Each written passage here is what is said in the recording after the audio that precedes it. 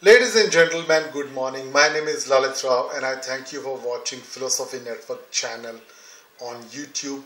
In this video, I'm going to speak to you about American philosopher Robert Nozick, who was born in the year 1939 and died in the year 2002.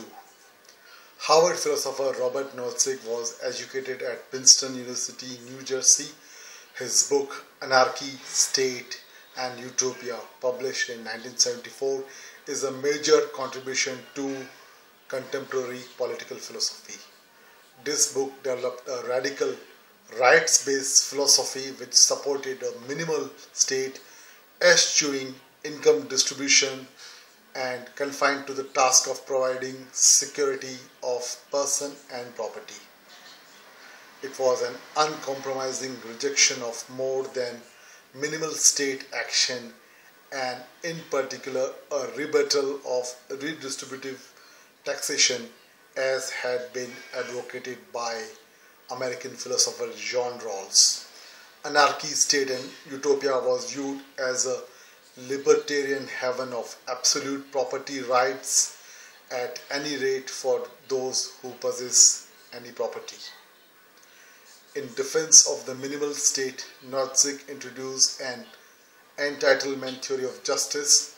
According to it, individuals are said to be inviolable and therefore to be self-owning, to have full private ownership of their abilities and bodies.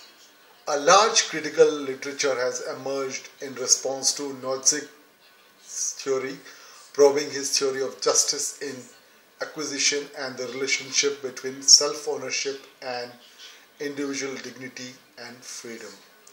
Nozick registered a disagreement with the theory set out in his first book in later work, The Examined Life, published in 1989, which concerned the right to inherit wealth.